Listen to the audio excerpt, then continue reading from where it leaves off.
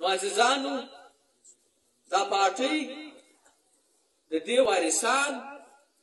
د خانې شهید بابا د محترم رحیم صاحب د شیر علي باچا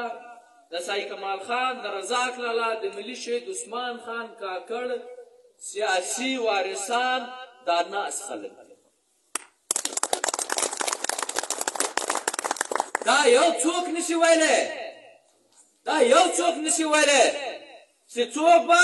د خانشین په سیاست باندې به څوک کار نه لري دا زما جاګیر دی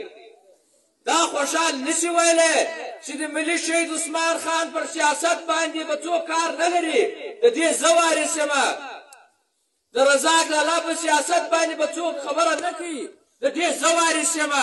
یو څوک یې وارث نه دی هغه کارکنان چې چا خپل ځواني چې چا خپل کورونه په پرېښتي وو چې چا جیلونه خوارې ستړیاوې میټینګونه دا کړي دا خلک یې وارثان دي نو عزیزانو پښتونخوا ملي پارټۍ معنا آئین منشور ستا نظریه نو ډېر